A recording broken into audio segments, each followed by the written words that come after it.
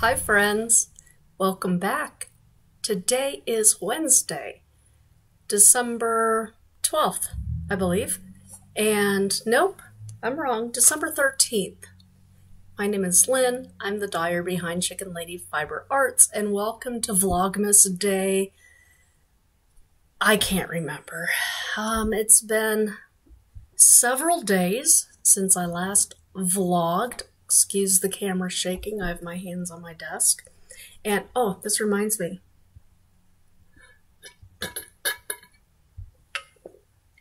Here in my beautiful um, Santoco water bottle, I have some delicious reverse osmosis water that I am enjoying. And I wanted to let you know that I have not vlogged in a few days because um, my husband's been illin. Not only has he been illin, but uh, I took him to um, urgent care. They gave him an antibiotic, and a few days later, he woke up on Sunday morning as I was getting ready for church. He took his temp and he said, I have a 102 degree fever. And I said, Get your shoes on. And I took him over to ER and they admitted him. He had a, a systemic infection. So, whatever infection he had, um, it went to his blood and he was septic. He is home now, praise God, and all is right in my little world again. Yay! So, that is why I was not here and I was uh, taking care of my sweetie pie. Um, oh, also, this whole drinking water thing is kind of a joke because there was a there was a thread over on Craft Snark, which is part of Reddit, and they were making fun of people who uh, make vlogs, as I do, for Christmas, so Vlogmas, and making fun of people who show off their cute little mug with their little Honduran picked by pixies and put into little organic muslin bags, tea drinkers. Anyhow, that's what that was about. If you can't laugh at yourself, call me, I'll laugh at you. okay, where were we? We were opening up our Advent kit from Moi based on the movie Grease. I got a little bit more finished on my shawl designed by the always gracious and always fantabulous Liz Clothier of Liz Clothier Designs. Um, we started with the main color, went to day one, day two, day three, and I have started on day four, which is the pink ladies. And see, I'm not keeping up with, I'm not doing my 20 grams a day. Uh, do what you can or wait until after the holidays. After all, uh, the 12 days of Christmas is actually after Christmas. It runs from December 26th all the way to Epiphany. So do what you want to do knit what you want to knit or crochet or whatever your craft is. I'm not picky. So, day eight, I've already opened, um, so you don't hear as much crinkling. Day eight was based off of the Hopelessly Devoted to You song that Sandy sings sleepover, either at Marty's or Jan's house, can't remember. And you see Sandy in her flowing white nightgown with her little blue headband, and she has some pink paper that she puts into that blue pool, and it's night with the trees and the shrubbery all around, and she sings a little love song. So this is hopelessly devoted. Let's do number nine, just for giggles and grins today. number nine is blacks and grays. Who do you think this is going to be about? Well, the T-Birds, the greasers, of course. This group of teen boys attended Rydell High School and rebel against social expectations, purposefully breaking rules. Danny, Kenickie, Doody, Sonny, and Putzie wear pomade in their duck tailed hair, jeans, and t shirts. Throughout the movie, they can be seen sporting their black leather jackets with the T Birds insignia on the back. So there you have it. Day eight is hopelessly devoted, and day nine is the T Birds, the greasers, as you will. All right, uh, aren't those nice together? They're gonna be fabo. Okay, I wanted to show some other things to you before I wrap up today. The last time I was with you, I showed you one of my Surpresent balls. This is Coral Reef. Each Surpresent ball does come in a little bag like this, cellophane bag. Has a little tag telling you the content of the fiber, and there's all kinds of little gifties in there.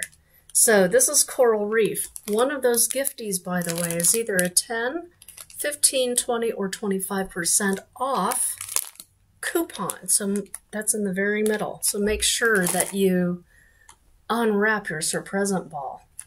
Here's some other things that are going to be made into Surpresent ball. Raspberry puree and Dr. Stepping Stone. These are misheard lyrics wrapped up into Surpresent balls for you. Um, any other news? Uh, I don't think so. I told you about my husband being ill. He is home and back to his normal self. Praise God. Thank you to those of you whom I texted and say, could you please pray?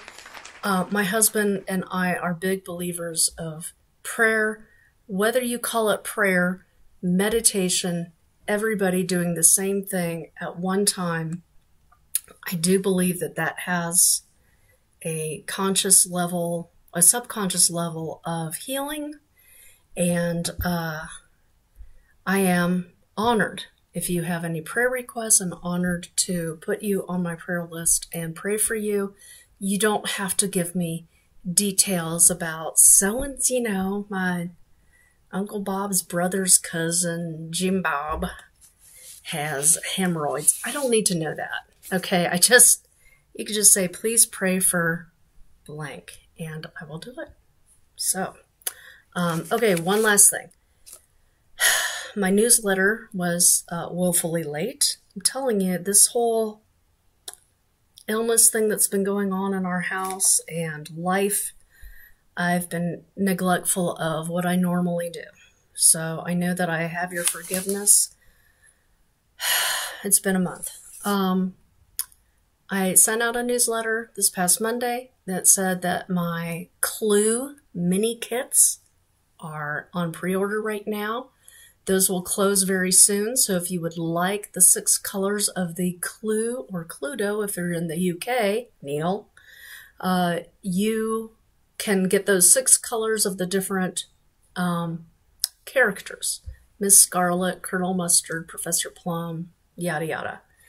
Um, there's going to be a Who Done Knit make along starting January 1st, 2024. And you need to go on Instagram, Two Sisters and Some Yarn. Here it is. In their bio on Instagram, there's a Google form that you need to fill out. Uh, if you don't have a Google account, that's okay. However, it does make it easier for Amy, little sis, because she is uh, the she's kind of the spreadsheet queen. She's uh, she's not an Xer like me, so um, she's got a form that you fill out, and on that form are all of the rules. Uh, I'm going to read some of the rules to you. Um, you're going to the Who Done It is a story written by Amy. It has been checked. Uh, you don't have to make a guess every week, but you have to fill out the form so that Amy can count your participation entry.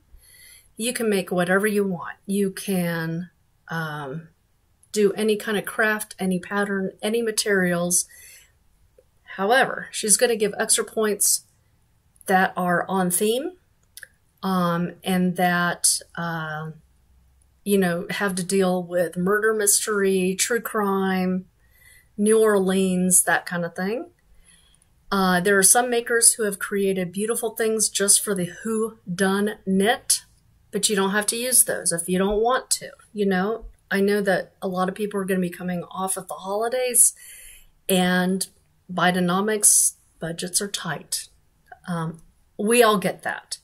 You don't have to finish your project, but there will be prizes, including finishes, WIPs, correct guesses, incorrect guesses, and an overall prize. So don't stress about this. Don't think that you have to start January 1st and then end by a certain date in February. And no, I don't know that date yet. Um, some of the podcasters, such as myself, will be giving out clues. Not all the clues are legitimate. There will be red herrings. Um, there will be a Telegram chat for the make along. It's not required for participation. It's just a way to create community and maybe you'll make a new friend out of this. Who knows? Or not. So that's just kind of some of the rules. I'm not going to read all of them to you. You can read for yourself, hopefully. And if you can't, please see a teacher. All right, I think um, that's it. I have no other. I'm looking around at my desk to see if I have anything else to show you. I do not. I'm going to go upload and edit and do all of that kind of stuff. And uh, thank you very much for watching. Thank you for your prayers for my husband, and we will speak soon. Have a blessed day. Bye bye.